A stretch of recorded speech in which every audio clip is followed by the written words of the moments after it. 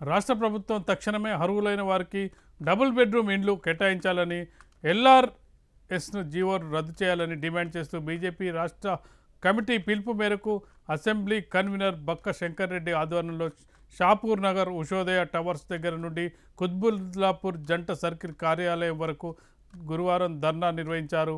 ఈ సందర్భంగా వారు మాట్లాడుతూ కేసీఆర్ బూటకపు మాటలు చెప్పి ముఖ్యమంత్రి అయ్యారని ఇప్పుడు ఎల్ఆర్ఎస్ పేరుతో ప్రజలను మోసం చేసి కోట్లు దండుకోవాలని చూస్తున్నారని ఆరోపించారు.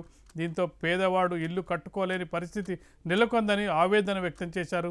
ఈ మేరకు వారు ఎల్ఆర్ఎస్ను రద్దు చేయాలని నిబంధనలను సులభతరం చేసే బడుగు బలహీన వర్గాల ప్రజల అందరికీ అందుబాటు ధరల్లో తీసుకురావాలని వారు డిమాండ్ చేశారు. అదేవిధంగా వంద ఎకరాలు ఉన్న భూస్వామికి రైతు బంధు పథకం ఇచ్చి వంద గజాలు ఉన్న పేదవాడికి ఎల్ఆర్ఎస్ కట్టమని నడ్డి విరుస్తున్నారని ఆరోపించారు. రాబోయే మున్సిపల్ ఎన్నికల్లో తగిన బుద్ధి చెప్పాలని కార్యకర్తలకు పిలుపునిచ్చారు. కరోనాతో ప్రజలందరూ అతలాకుతలం అవుతున్న సమయంలో ఎల్ఆర్ఎస్ పథకాన్ని ప్రవేశపెట్టి బడుగు బలహీన వర్గాల ప్రజలను మరింత ఇబ్బందులకు గురి చేస్తున్నారని తెలిపారు.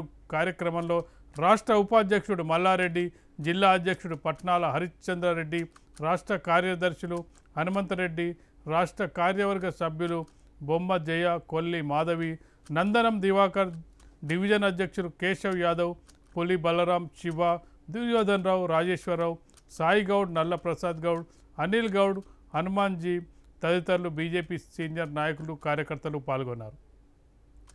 రాష్ట్ర ప్రభుత్వం చేపడుతున్నటువంటి ఎల్ఆర్ఎస్ కానీ మరి వారు ఇచ్చినటువంటి వాగ్దానాలన్నింటినీ కూడా తుంగలో దొక్కినటువంటి ఒక విషయాన్ని కానీ భారతీయ జనతా పార్టీ ప్రతి వ్యక్తి దగ్గరికి కూడా తీసుకుపోవడంలో భాగంగా నిన్న మీరందరికీ తెలుసు నిన్న మొన్న రాష్ట్రం మొత్తం కూడా కలెక్టరేట్లో ముట్టడి.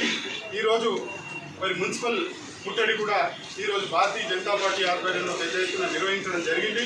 మరి ఈ కార్యక్రమంలో పాల్గొన్నటువంటి కార్యకర్త సోదరులకు అందరికీ నాయకులకు సోదరిమణులకు అందరికీ కూడా మనస్ఫూర్తిగా నమస్కారాలు తెలియజేసుకుంటూ టూ థౌజండ్ ఫోర్టీన్లో టీఆర్ఎస్ పార్టీ అభ్యర్థిగా నేను పోటీ చేసినప్పుడు మా కేసీఆర్ చెప్పాడు మీరు ప్రతి మీటింగ్లో కూడా డబుల్ బెడ్రూమ్ ఇల్లు ఇస్తామని చెప్పి ప్రతి కనబడడానికి కల్లా చెప్పమన్నారు మేము అట్లనే కనబడ్డం కల్లా నీకు డబుల్ బెడ్రూమ్ నీకు డబుల్ బెడ్రూమ్ నీకు డబుల్ బెడ్రూమ్ నీకు డబుల్ అందరికీ ఇంటికి ఉద్యోగం అని కూడా ఆ రోజు చెప్పినాం.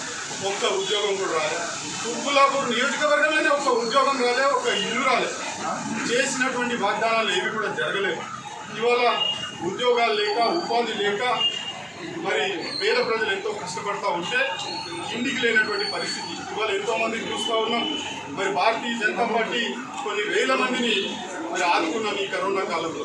ఇటువంటి పరిస్థితిలో వాళ్ళకు అరవై గదాలు వంద గదాలు ఉంటే అది ఉంది కదా ఆస్తి ఉంది కదా అని చెప్పి